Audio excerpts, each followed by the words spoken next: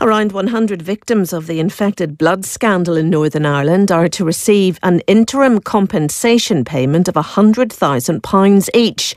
Conan McIlwrath has haemophilia and contracted hepatitis when he was given contaminated blood as a child. He also gave evidence to the infected blood inquiry. It's a historic moment in the fact that uh, it's the first time that government has actually accepted that it must pay compensation, so it's, it's finally taken liability as such. Uh, I don't think it would be fair, however, to, to celebrate it without taking pause to, to remember the people who unfortunately haven't made it to see today's news, and then for the for, for who have been excluded from this part, which would be the uh, the parents and children of people who've been infected or, affected. That, that that said, though, it is a very welcome announcement.